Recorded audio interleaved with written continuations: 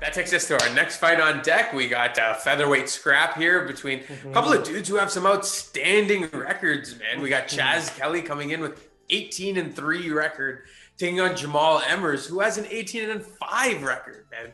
These are insane here. So, you know, let's dive into Chas a little bit. Like we said, 18 and 3 record. Been in the UFC since 2014, man. He's gone 7 and 3 there. Another dude who doesn't seem to fight that often, but his last fight was in 2019. He got a unanimous decision victory against Jordan Griffin.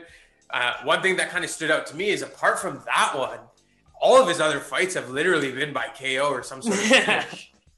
it's like just straight excitement, right? Oh man, you know that got me amped for sure. Hondo.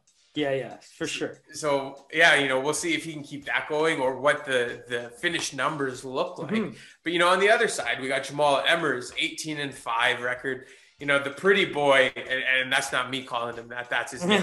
so you know, t- take no offense to that one. But he made his UFC debut in 2020 against who, Siraj?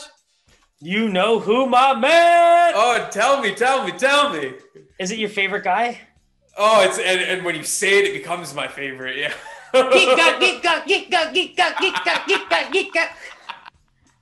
But yo, you know, if you so, go further down, just to quickly touch on Julian Erosa, right there, right? He lost to Julian yeah. Erosa. And by how? Head kick. Julian Erosa pulling out those big long kicks. And those it's funny, right? Legs, I wanted to take you further down there because I wanted to take you to Thiago Moises, your favorite boy. Oh, yeah. You screwed your boy man. Bobby Green. screwed your boy Bobby Green out of a win, in your opinion. And yo, I've actually seen a lot of people agree with you, man. Like a lot of people had yeah. Bobby Green winning that fight. Yeah, man. It's it's you're not alone there. you know, I just thought that was my uh, bias in there for not sure. At all, but, not at uh, all. There's a lot of people that agree. Damn, so that that's a pretty credible uh, history for Mr. Exactly, right? Yeah, and so that's what takes me into Chas Skelly, right? Like this guy also was just you look at his names at the time, the people he fought were big names. Like Jason Knight's a champion in, in smaller organizations at some point in his career. You know, mm-hmm. these are the kind of guys where you just you didn't take those next steps. And I really believe that when you look at Skelly, he just had like a massive injury right in training camp. So he's yeah. out in Sanford MMA, like he has good camps, and you know he recently just talked about how he had to go through surgery. It was so bad that you know they didn't even know. If, if he should be fighting again and that kind of stuff. And it took him that long Jeez. to recover. And he's even talking about how, like, if things like this kind of happen more, he's going to have to consider retirement, how he wants to get into being an analyst and a commentator more. So it's like, you know, I don't want to say the one foot out the door mentality, but like this guy's giving it his all when he can. You know what I mean? Mm-hmm. And it's just for him, it's like when he can. And so he's he's talking about his age and all that kind of thing. So again, when you look at the record, when you look at the people he was supposed to fight and has fought, if it wasn't for these, you know, injuries and these surgeries, like he he had a really good chance. Problem is, he's not the best. He's not the best striker, to be honest. And I really like what he brings from an all-around MMA game, but a guy like Emmers, man, like we're talking about yeah. here. Like this guy, yeah. this guy lost a split decision to Giga Chikadze, who, you know, he might be the biggest name that no one's really talking about on this side Absolutely. of the world because I think he's blowing up uh, back home. I think he's blowing up mm-hmm. uh, amongst like you know the diehards, uh, guys like you who are just following fights through and through. You know, you know whether you're starting within the last year or not, like that's a guy who you will remember. You know, like he's he's just For putting sure. on performances, and that's where the competition, right? You have to always chalk it up to the kind of competition, despite you know our boy Chas yeah. seeing it when he was younger. Like this could be the new crop yeah, and, and, it's funny you're literally confirming the lopsided nature that I thought this was kind mm-hmm. of playing out to be, given the mm-hmm. names mm-hmm. that Jamall has seen recently, mm-hmm. and, and, you know the the kind of veteran aspect Chas has been taking, you know, mm-hmm. as of late. So let's dive right into the line here. Uh, you know, we we kind of have a lean on the favorite here. So what number are you seeing here, man?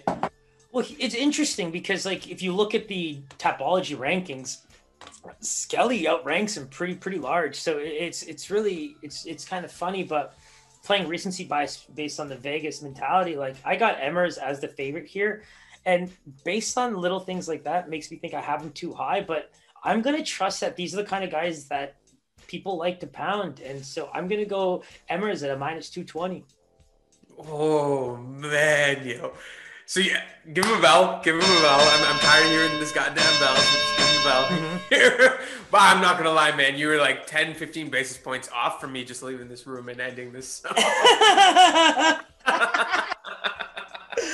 but I believe you had said minus 220. I Uh, looking did. it up live, he is a minus 200. Right. if you guys didn't know, he was probably going to call me a cheater at this point and walk out. Oh yeah, you, you nailed this minus 200. That's the end of UFC Vegas 19. It's been a pleasure. I'll see you next time. so you know, minus 200, right in line with what you're thinking. And, and honestly, I think that's a fair line. And when you when you look at all the things that have unfolded recently, you know, the, the hmm. level of prospect that this guy is, you know, I think it's an accurate line. I think it's a fair line. The problem that this scares me is you look at Emmers' is like on record takedown defense, it's literally 100%. And I think Oh. Skelly's like number one area is to kind of grind fights out, right? Kind of try to work you on the ground. Mhm. But if if Emmers is coming as in as a superior athlete who's like switching stance and mixing up really well on the feet and keeping him at the distance, you know, like really being able to to keep him at that distance. Because like if, if you ask me, avoiding the work up against the fence and, and being taken down like that, that's that's money for Emmers, in my opinion, because I think he For has sure. the pedigree to to kind of fight almost anywhere. But I just think that if you're trying to play into your strength and your and your opponent's weaknesses, it, it really seems like the striking battle would be where he can kind of separate himself a bit. And, and he's proven Mhm. himself, right? Like I think a, a, a split decision loss to a guy like Giga when you're when you're primarily striking with him is a big deal.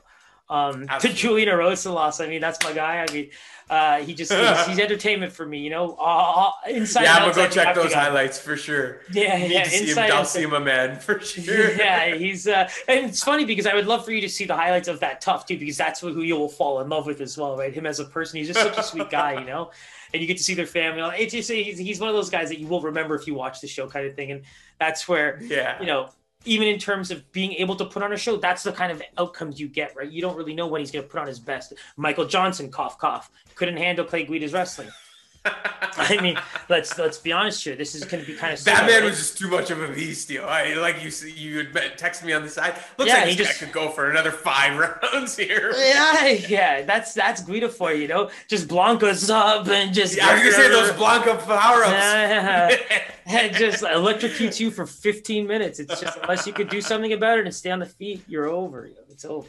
Yeah, for sure. So, you know, stay tuned for that one. You know, I do personally believe that motivation is going to play a large factor into this because, you know, Chas is no joke, man. There, there's no mm-hmm. denying that. So, I, I do believe motivation might play a huge part in this one for him. The, th- uh, the one thing that kind of just I don't see like huge size differences and stuff like that. So for me, it's just like if this stays on the feet and if it stays at a distance, unfortunately, like I just don't want to see you know Chas just get picked apart. But I mean, it's one of those things where this has the makings of a very very nice MMA match if things go both of their ways. You know, like I think if ways, see- yeah. yeah, if you see them mix it up quite a bit, I think you're going to see a really fun fight.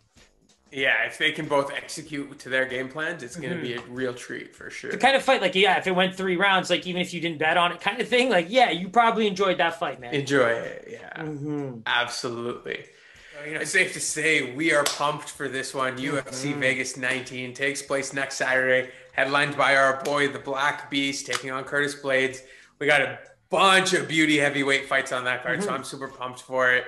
You know, that wraps it up today. If you mm-hmm. haven't already done so, smash that like button, give hit that bell button, give us that subscribe, the follow. All Let's our Instagram, baby. Twitter is all there. Any questions, comments you guys have, just send them our way. Anything else, Siraj? I mean, you know, just be ready. Like, we keep pumping this fight up, but be ready for a five round wrestling match where Curtis Blaydes isn't able to finish this man and Derrick Lewis isn't able to get off his back after three rounds, and you're just watching a guy get taken down for, for five rounds. So just be ready for that as well.